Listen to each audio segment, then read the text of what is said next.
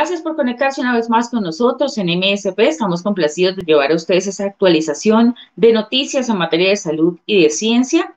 La ciencia y la salud siempre son noticias. Soy Mayarín Velosa y hasta ahora hacemos un recorrido por Latinoamérica para saber cómo avanza las jornadas de vacunación en los diferentes eh, países y, por supuesto, cómo se están desarrollando también vacunas importantes en cada uno de ellos. Y, por supuesto, para hablar sobre el Día del Cáncer de Colon, que es hoy, el día contra esta enfermedad. Vamos a comenzar con una noticia muy importante que se generó hoy. Los laboratorios de Pfizer y BioNTech anunciaron hoy miércoles que su vacuna anti-COVID mostró eficacia del 100% en los jóvenes en edades comprendidas entre los 12 y 15 años y confiaron también en comenzar a vacunarlos antes del inicio del próximo año escolar. Los ensayos clínicos en la fase 3, que fueron llevados a cabo en 2.260 adolescentes, esto en los Estados Unidos, mostraron una eficacia de 100% y una robusta respuesta en forma de anticuerpos, dijeron eh, las compañías en un comunicado. El director ejecutivo de la empresa alemana de BioNTech indicó que los resultados mostraban una alta protección de los adolescentes, que eran muy alentadoras dadas las tendencias también que hemos visto en las últimas semanas debido a la cepa o a la variante del Reino Unido. La vacuna de BioNTech Pfizer se basa en la tecnología ARNM y fue la primera vacuna contra el COVID-19 aprobada, esto en países occidentales a finales del año pasado. Tanto en Estados Unidos como en la Unión Europea han probado su uso para personas mayores de 16 años y desde entonces se ha utilizado en millones de adultos en más de 65 países. Pasamos ahora a noticias de Colombia, también tienen que ver con el COVID-19 y es que es una noticia para nada alentadora porque el superintendente de salud, Fabio Aristizábal, reveló que ya se suman 66 denuncias por presuntas irregularidades en el proceso de vacunación contra el COVID-19 en el país, en todo el territorio nacional. Según el funcionario, del total de quejas, solo dos han sido trasladadas a las autoridades penales y disciplinarias. Hay 55 casos que están en seguimiento y nueve ya se han descartado. Según la Supersalud, un grupo élite de la entidad hizo 39 visitas a entidades territoriales, 68 sedes de EPS y 31 de IPS, donde se evaluaron ya siete criterios. Como resultado, se emitieron también 1.205 alertas preventivas debido a estas irregularidades que se están registrando en Colombia. Avanzamos también con noticias importantes que tienen que ver con los países de América Latina que están desarrollando sus propias vacunas contra el COVID-19 desde que se desató la pandemia. Han sido pues muchos los territorios que se han sumado a esta iniciativa de generar su propia vacuna y las decenas de grupos de investigación de diferentes países buscan crear la vacuna que acabe con el virus. Algunos de ellos se encuentran en Latinoamérica, como Cuba, que comenzó este mes ya la última fase de los ensayos de dos de las cinco candidatas que está desarrollando. Comenzamos también en México, donde hay varios proyectos. Uno de ellos es el que lidera la bioquímica e inmunóloga Edgar Ciuto en el Instituto de Investigaciones Biomédicas en la Universidad Nacional Autónoma en México, junto con los laboratorios de Alfarma, ya han avanzado en fases preclínicas con resultados muy prometedores, dice la científica. Ha sido probada ya en animales como ratones y cerdos para medir justamente la dosis que necesitaría un ser humano.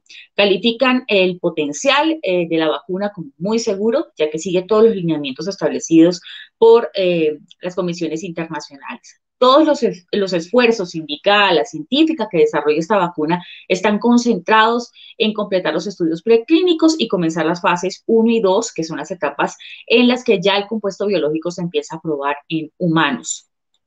En Brasil también se destaca entre las candidatas a vacunas en fase preclínica un proyecto que desarrolla la Universidad de Sao Paulo y otro el Instituto de Butantan.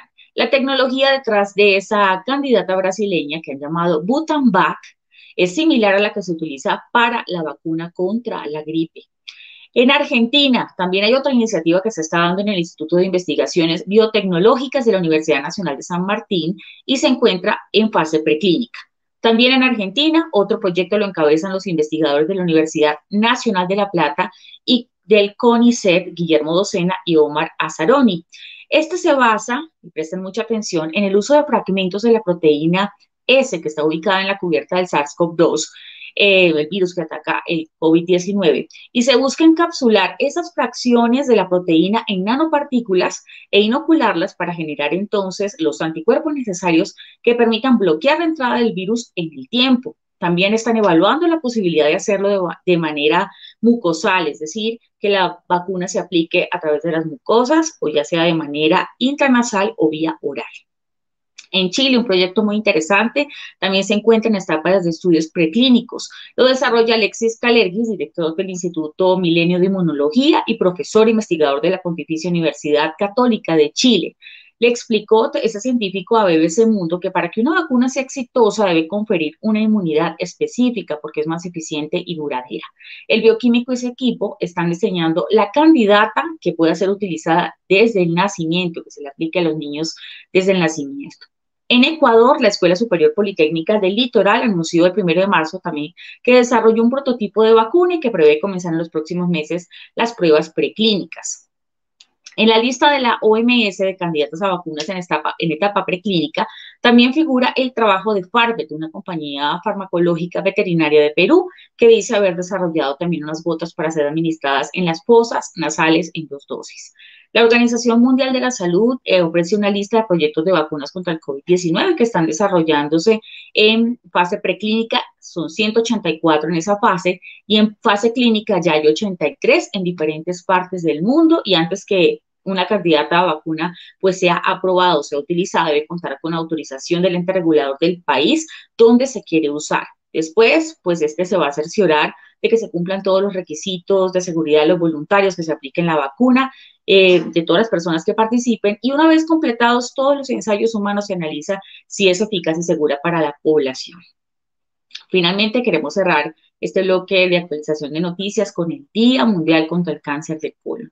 El equipo de MSP ha realizado un trabajo muy interesante en torno a este tema. Lo invitamos a, que se conecte y comparta la información que cuenta en todas nuestras redes sociales.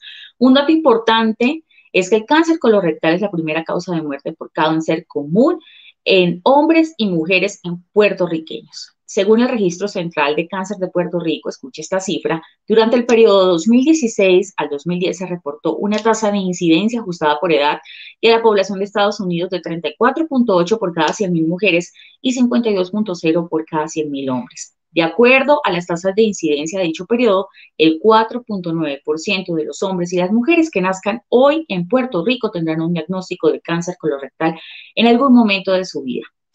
Entonces, esta enfermedad eh, representa un problema premiante de salud pública según el informe de Agencia Internacional de Investigación sobre el Cáncer. La tasa de incidencia ajustada por edad a nivel mundial durante el año 2012 fue de 14.3 por cada 100.000 mujeres y 20.6 por cada 100.000 hombres.